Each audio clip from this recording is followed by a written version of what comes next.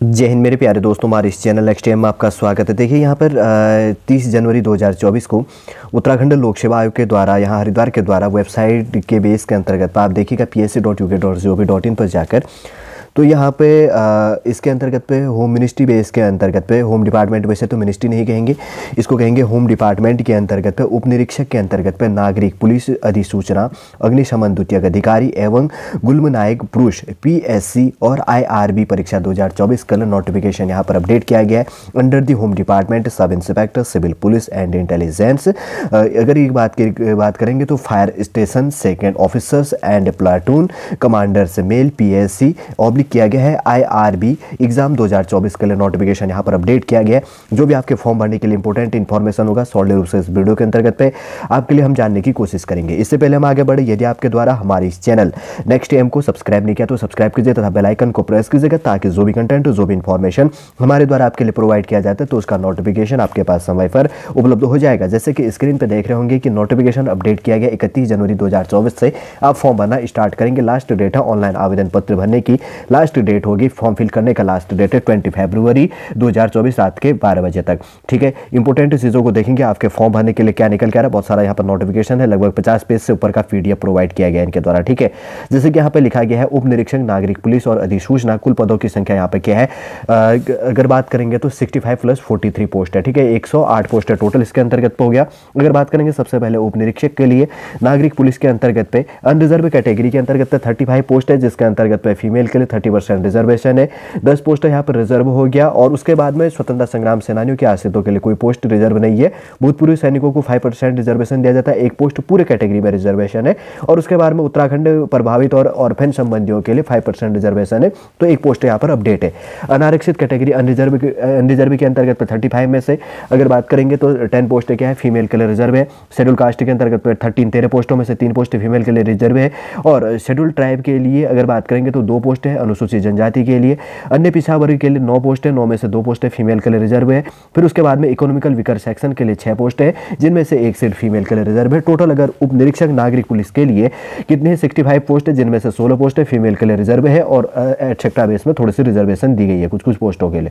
उसके बाद में अभी सूचना की बात करेंगे तो यहाँ पे अनरिजर्व कैटेगरी के अंतर्गत पे ट्वेंटी थ्री पोस्ट है जिसमें से छः पोस्ट फीमेल के लिए रिज़र्व है और एक अगर बात करेंगे तो उत्तराखंड प्रभावित और ऑर्फेन के लिए टोटल एक पोस्ट रिज़र्व है ठीक है उसके बाद में एक यहाँ पे दिया गया पूर्व सैनिक के लिए एक पोस्ट रिज़र्व है फिर उसके बाद में शेड्यूल कास्ट के अंतर्गत तो नाइन पोस्टों में से टू पोस्ट है फीमेल के लिए रिज़र्व है शेड्यूल ट्राइब के अंतर्गत पर एक पोस्ट है फीमेल के लिए रिज़र्व नहीं है अदर बैकवर्ड क्लास के अंतर्गत पे सिक्स पोस्ट है जिसमें से एक पोस्ट फीमेल के लिए रिज़र्व है और आर्थिक रूप से कमज़ोर वर्ग के लिए चार पोस्ट है जिनमें से एक पोस्ट फीमेल के लिए रिज़र्व हो गया टोटल पोस्ट कितनी है उप निरीक्षक के लिए अभिसूचना के लिए फोर्टी थ्री पोस्ट है जिनमें से टेन सीटें फीमेल के लिए रिज़र्व है, ठीक है? अब इसके बाद की बात करेंगे तो इसके अंतर्गत पे एज लिमिट काफ़ी इंपॉर्टेंट हो जाता है मिनिमम एज लिमिट 21 और मैक्सिमम 28 होनी चाहिए। शैक्षणिक अर्हता की बात करें तो भारत में विधि द्वारा स्थापित विश्वविद्यालय द्वारा से स्नातक उपाधि या सरकार द्वारा मान्यता प्राप्त, उसके समकक्ष कोई शैक्षणिक योग्यता धारण होना चाहिए। दूसरी बात कही गई है, भूतपूर्व सैनिकों के लिए शैक्षणिक योग्यता इंटरमीडिएट या इससे समकक्ष होनी चाहिए। आपको वरीयता दी जाएगी, यदि आपने प्रादेशिक सेना में दो वर्ष का जॉब किया, यदि आपके पास में एनसीसी का भी प्रमाण पत्र है। ठीक है, उसके बाद में देखिए, यहाँ पर जैसे कि लिखा गया है, सीधी भर्ती हेतु शारीरिक मानक परीक्षा। और उप निरीक्षक, नागरिक पुलिस और अभिसूचना पद पर सीधी भर्ती के लिए पुरुष एवं महिला अभ्यर्थियों के लिए न्यूनतम शारीरिक अर्थता न्यूनतम होगी। अनारक्षित हो गया, अनुसूचित जाति, अन्य पिछड़ा वर्ग और आर्थिक रूप से कमज़ोर वर्ग के लिए हाइट एक सौ सेंटीमीटर होना चाहिए और उसके बाद में फीमेल के लिए एक सौ बावन सेंटीमीटर होना चाहिए। और अनुसूचित जाति और जनजातियों के लिए अगर बात करेंगे तो सॉरी, अनुसूचित जनजाति के लिए 160 सेंटीमीटर, मेल के लिए हाइट और फीमेल के लिए एक सौ सैंतालीस सेंटीमीटर होनी चाहिए। पर्वतीय क्षेत्र के अभ्यर्थियों के लिए हाइट एक सेंटीमीटर और फीमेल के लिए एक सौ सैंतालीस सेंटीमीटर यहाँ पर हाइट होनी चाहिए। और सीने की माप की बात करेंगे तो अनरिजर्व के लिए शेड्यूल कास्ट, शेड्यूल और उसके बाद में ओबीसी के लिए और इकोनॉमिकल विकर सेक्शन के लिए सेवेंटी सेंटीमीटर, फुलाने के बाद में एट्टी सेंटीमीटर होना चाहिए। पर्वतीय क्षेत्र के अंतर्गत पे अनुसूचित जनजाति, शेड्यूल ट्राइब के लिए यहाँ पे चेस्ट की माप 76.5 सेंटीमीटर और फुलाने के बाद में 81.5 सेंटीमीटर यहाँ पर होना चाहिए। सीने में न्यूनतम फुला फाइव सेंटीमीटर प्लस होना चाहिए उसके बाद में।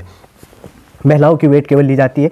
यहाँ पर अगर वेट की बात करेंगे तो 45 फाइव आपका वेट होना चाहिए। अगर शारीरिक दक्षता परीक्षा की बात करेंगे तो क्रिकेट बॉल थ्रो है मेल के लिए 50 मीटर और फीमेल के लिए 20 मीटर और उसके बाद में लंबी कूद, तेरह फीट और फीमेल के लिए एट फीट हो गया। मेल और इसके बाद में चिनअप हो गया, केवल पुरुष अभ्यर्थियों के लिए पाँच बार चिनअप करना है मेल कैंडिडेट के लिए। और दौड़ व चाल की बात करेंगे तो फाइव किलोमीटर है थर्टी मिनट के अंतर्गत पे।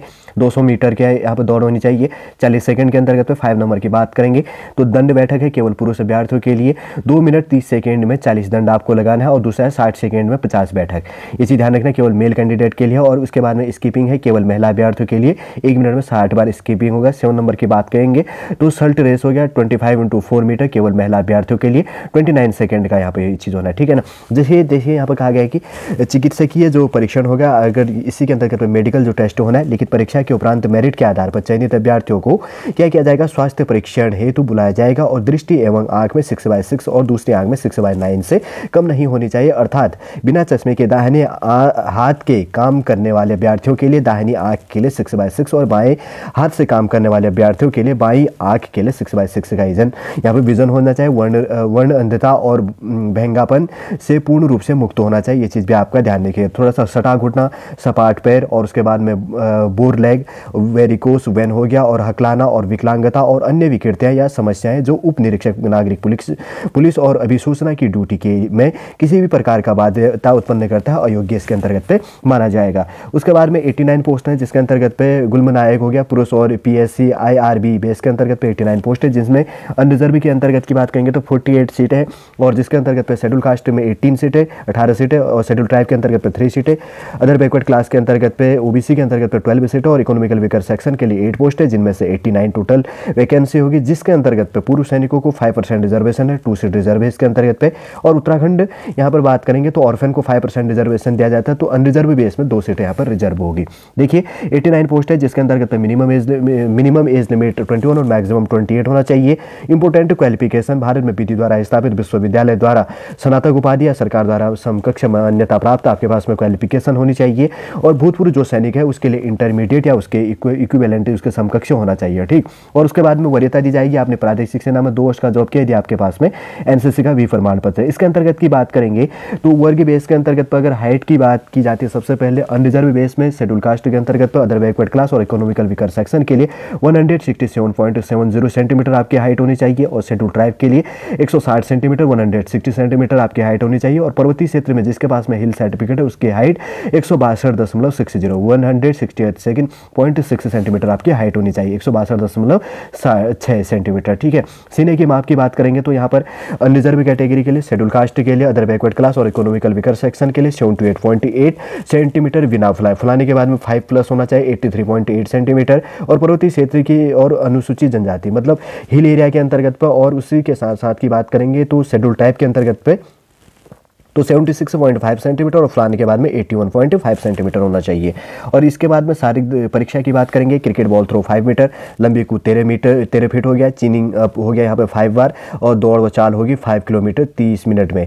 और दंड बैठक हो गया दो मिनट तीस सेकेंड में चालीस दंड और साठ सेकेंड के अंतर्गत पे पचास बैठक होगी। इसके अंतर्गत पर भी वही देखिए, विजन अगर बात करेंगे तो सिक्स बाई सिक्स होना चाहिए, दूसरा सिक्स बाई नाइन होना चाहिए, वही वर्ण वर्णरंधता एटसेट्रा जो पहले बात कही गई है, वो चीज़ें इसके साथ साथ में इंक्लूड की गई है। अगर देखिए, अग्निशमन संबंध द्वितीय अधिकारी, मेल और फीमेल के लिए ट्वेंटी फोर पोस्ट हैं, जिसके अंतर्गत अंतर्गत की अगर बात करेंगे तो अनरिजर्व में चौदह पोस्ट है, जिनमें से तीन सीटें फीमेल के लिए रिज़र्व है।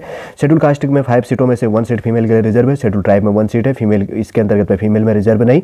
अदर बैकवर्ड क्लास में थ्री सीटें हैं और उसके बाद में आर्थिक रूप से कमज़ोर वर्ग के लिए टू सीटें जिसके अंतर्गत में ट्वेंटी टोटल पोस्ट होगी, जिसमें से फोर सीटें फीमेल के लिए रिज़र्व है और उसके बाद में, और एटसेट्रा बेस में कोई रिज़र्व यहाँ पर नहीं है। मिनिमम एज लिमिट यहाँ पर भी ट्वेंटी और मैक्सिमम ट्वेंटी है। अगर इंपोर्टेंट क्वालिफिकेशन की बात करेंगे तो भारत में विधि द्वारा स्थापित विश्वविद्यालय द्वारा से विज्ञान से स्नातक उपाधि या सरकार द्वारा मान्यता प्राप्त। उसके समकक्ष कोई शैक्षणिक योग्यता धारण होना चाहिए, धारक होना चाहिए और भूतपूर्व सैनिकों के लिए शैक्षणिक योग्यता इंटरमीडिएट विज्ञान वर्ग या उसके समकक्ष अर्थता होनी चाहिए। सी पॉइंट कहा गया है, केंद्र या राज्य सरकार द्वारा किसी मान्यता प्राप्त संस्थान से कम से कम छः माह का सर्टिफिकेट इन कंप्यूटर एप्लीकेशन होने की स्थिति में अधिमानी दिया जाएगा। ठीक है आपको वरिता दी जाएगी। यदि आपने प्रादेशिक सेना में दो का जॉब किया, यदि आपके पास में एनसीसी का भी प्रमाण पत्र है, जिसके अंतर्गत अगर फ़िज़िकल टेस्ट की बात करेंगे अनरिजर्व शेड्यूल कास्ट और अदर बैकवर्ड क्लास और इकोनॉमिकल विकास सेक्शन के लिए one seven point seven centimetre male की हाइट और उसके बाद में फीमेल के लिए वन सेंटीमीटर मिनिमम होना चाहिए। ठीक है मैक्सिमम की बात नहीं कही गई। शेड्यूल ट्राइब के अंतर्गत पे 160 सेंटीमीटर और उसके बाद में फीमेल के लिए मेल के लिए 160 सेंटीमीटर और फीमेल के लिए एक सौ सैंतालीस सेंटीमीटर और पर्वतीय क्षेत्र हिल के लिए मेल के लिए हाइट एक सेंटीमीटर और फीमेल के लिए एक सौ सैंतालीस सेंटीमीटर होना चाहिए। सीने की माप की अगर बात करेंगे तो यहाँ तो अनरिजर्व कैटेगरी के लिए शेड्यूल कास्ट और अदर बैकवर्ड क्लास इकोनॉमिक और विकास सेक्शन के लिए सेवेंटी एट पॉइंट एट फलाने के बाद में five plus eighty three point eight centimetre होना चाहिए।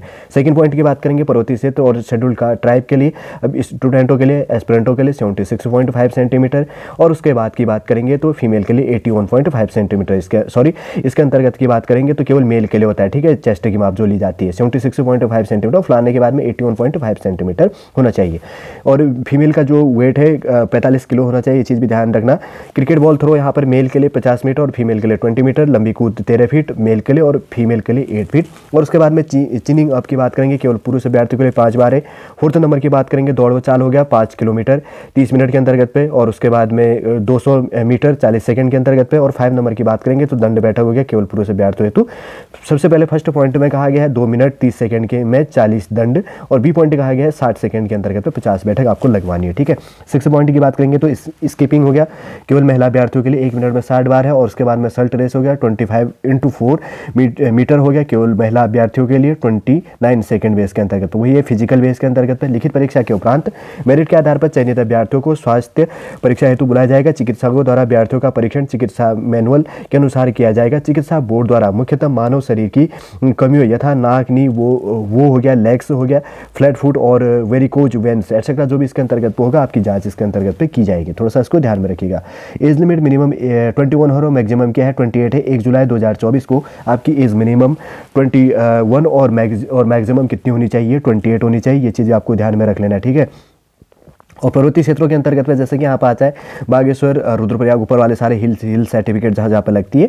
और इसी में कैटेगरी वाइज यहाँ पर छूट दिया जाता है, ये चीज़ भी ध्यान में रखना फाइव ईयर्स से जिसमें जिस जो चीज़ें होती अनिवार्य क्वालिफिकेशन संबंधी हमने आपके लिए यहाँ पर प्रोवाइड कर दिया, और चीज़ देखते हैं नेशनलिटी की बात कही जाती है, ये चीज़ आप समझते हैं, कोई बताने की आवश्यकता नहीं करेक्टर सही होना चाहिए, क्योंकि आपका वेरिफिकेशन पुलिस थाने से हो जाता है, ठीक है ना, जिस जिस स्टेट के अंतर्गत पे, जिस ज़िले के अंतर्गत आप रहते हैं। और उसके बाद में शारीरिक स्वस्थता की बात कही गई रिजर्वेशन इसके अंतर्गत पे दिया जाएगा, कोई इशू नहीं है इसके साथ साथ में। फिर देखते हैं और क्या चीज़ निकल के आ रहा है। लगभग बहुत लंबी पी है, ठीक है साथ साथ के लिए। आपके जानने के लिए जो चीज़ इंपॉर्टेंट है, वही चीज़ मैं यहाँ पे बात करूँगा। देखिए, यहाँ पे कहा गया शुल्क शासनादेश संख्या। दिनांक दो तेईस दिसंबर सॉरी तेईस सितंबर 2022 व शासनादेश संख्या जो भी है, दिनांक 14 अक्टूबर 2022 के क्रम में मान्य आयोग के निर्णय दिनांक 14 दस 2022 के अनुपालन में अभ्यर्थियों को परीक्षा शुल्क एवं प्रोसेसिंग शुल्क से छूट प्रदान की गई है। इसके अंतर्गत में फॉर्म फ़ीस आपको फॉर्म फ़ीस पे ही नहीं करना। अगर ऑफिशियल वेबसाइट की बात करेंगे तो पी डॉट डॉट इन पर जाकर आपको फॉर्म फिल करना है। वैसे तो इंपॉर्टेंट जो पॉइंट है, मैंने यहाँ पर आपके लिए प्रोवाइड कर दिया है। उत्तराखंड के अंतर्गत पर, अगर नेक्स्ट वीडियो के अंतर्गत पर मैं कोशिश करूँगा कि आपके लिए सिलेबस प्रोवाइड करूँ। जो भी यहाँ पर इंपॉर्टेंट अगर इसके लिए, अगर एग्ज़ाम की बात करेंगे तो तेरह जिलों के अंतर्गत पे बाद में जो भी सेंटर होगा फॉर्म फिल करते समय अगर बता दिया जाएगा तो आप समझ जाएँगे। कोई इश्यू नहीं है, तेरह जिलों के अंतर्गत पर भी, पर ज़िले वाइज जो भी एग्ज़ाम होता है तो हो जाता है इसका भी, ठीक है? सॉलिड रूप से समझ गए होंगे। उत्तराखंड के अंतर्गत पर, जो पुलिस विभाग के अंतर्गत पर विज्ञप्ति जो जारी किया गया है तो जो भी आपके फॉर्म भरने के लिए इंपॉर्टेंट इन्फॉर्मेशन सॉलिड रूप से इस वीडियो के अंतर्गत पर आपके लिए यहाँ पर प्रोवाइड करने की कोशिश की गई है। उम्मीद करूँगा दोस्तों, इस वीडियो के अंतर्गत सॉलिड रूप से पूरा इन्फॉर्मेशन आप समझ गए होंगे। यदि वीडियो इन्फॉर्मेशन आपको अच्छा लगता है लाइक कीजिए कमेंट कीजिएगा और हमारे इस चैनल नेक्स्ट एम को सब्सक्राइब कीजिए। वापस हम नेक्स्ट क्लास के अंतर्गत आपसे मिलेंगे। जय हिंद, जय भारत।